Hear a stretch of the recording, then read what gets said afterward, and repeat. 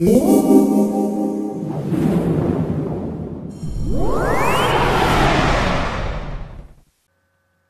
this podcast, I'm going to be going through how to make a really throaty style electro bass that eventually is going to sound like this.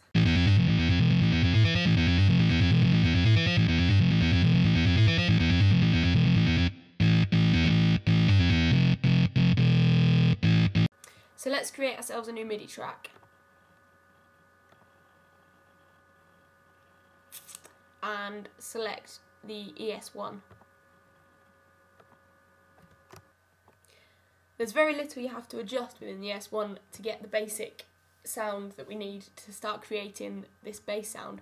The first oscillator is right, but the second oscillator, just move it round and add a bit more drive in. The filter section is pretty much right, you just need to up the cutoff a little bit.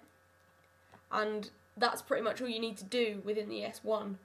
The rest of it is all plugins that we'll have a look at in a sec. We can now come out of the ES1 and start having a look at the channel strip settings that we need to make that bassline just that bit beefier. Because at the moment this is what we've got. It's getting there, but it just needs a few extra bits. First thing we're going to do is add some distortion. Uh, this is all down to personal taste now, so just play around with each of the plugins and see what you like.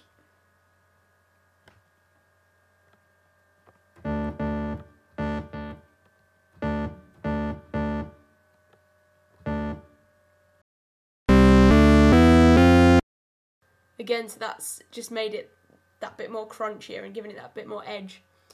The next thing I'm going to do is add Guitar Amp Pro and change a couple of the settings.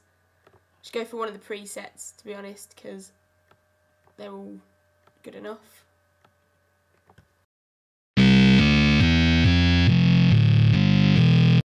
That's pretty much there now.